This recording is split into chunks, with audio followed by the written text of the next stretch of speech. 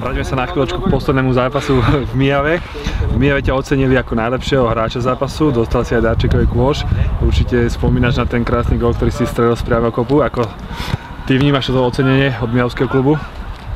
To dobre, hlavne, že, že, že sme hrali dobre a škoda tých rýchlych golov, takže sme sa do zápasu vrátili, ako potešil som sa to, že ma tam ocenili ako najlepšieho hráča toho zápasu, ale je to iba 50% z toho, že som šťastný, lebo chýba ešte tých 50 a to je tá výhra, čo sme tam vypustili a nakoniec sa hovorí, že šťastný som, že nakoniec bolo 2-2, že sme nestratili všetky body, ale aj nešťastný z toho, že, že sme nevyhrali všetky tri, takže je, to aj, aj dobre aj zle v tom zápase bol.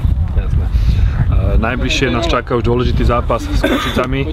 Pre teba to bude určite trocha špecifický zápas, pretože práve z Košic si prestúpil do Slovana.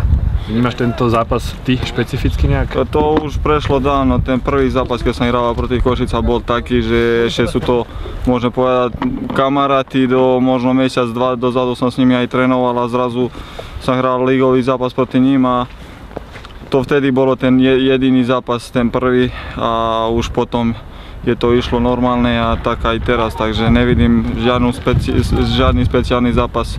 Sú to Košice, môj bývalý klub, ale žiadne také nemám vôbec, ja som slovanista, som tu. Čo podľa tvojho názoru môžeme očakávať od mústva Košic v nedelu?